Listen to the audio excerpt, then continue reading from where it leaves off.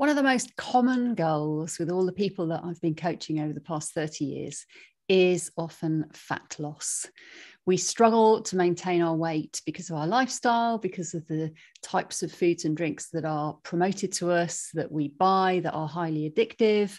And, you know, I've covered this topic at length in my books and in the other videos and the, the online course. But what I really want to hammer home is the fact that all the latest science now around energy compensation and the effects of how the body responds to exercise shows why, if you are trying to lose fat, then exercise is not the efficient way to do that. It's extremely hard because the body, the, there is a known energy compensation effect where the the energy expenditure and the way that the body uses energy actually slows down because it compensates for the increase in activity. So, the ways that we were telling people to lose weight, this is not working. This is why it hasn't worked. Okay. This is scientifically shown. Even right now, in August, there was yet another um, peer reviewed paper in the current biology journal about this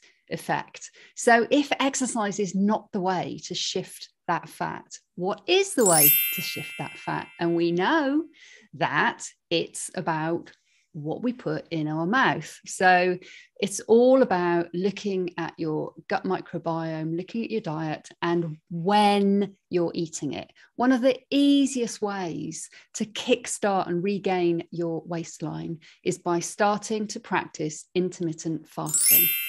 I do it in the week. I don't do it weekends. Weekends are party time. But during the week, I follow an intermittent fasting protocol. So that all that means is that I have a late breakfast so that I eat within an eight hour window during the day. And then I fast for about 16 hours overnight because I don't eat late at night and I don't have breakfast until 11, sometimes 12. So you're entering that fasting state. And this is the problem that we have built for ourselves because we're, we're simply eating too often and the wrong foods. But I'll deal with that in a different video. Just think about when you're eating. So don't focus on the exercise because that is honestly, uh, you know, I'm not making this up. This is a scientific fact that the body adjusts when you increase your activity. And so losing fat through exercise is hugely inefficient route to weight loss.